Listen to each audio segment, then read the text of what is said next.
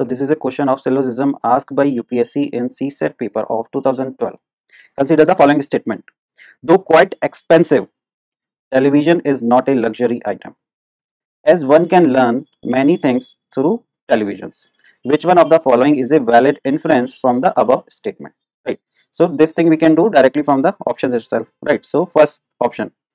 All expensive things are regarded as luxury. See here itself in the first statement saying though quite expensive television is not a luxury item. It means okay television is costly right television is costly but still we are not regarding it as luxury. So, but the option A is saying all expensive things are regarded as luxury. A TV is not regarded as luxury. So, this is wrong. Now, the second, all essential things for learning are not luxury. So, here they have given that one can learn many things through televisions, right? But there can be other things from where a human can learn things right? So they may be cheap or costly that thing is not given. So we cannot infer these things right? So all essential he is talking about all essentials. But here it is talking about only televisions.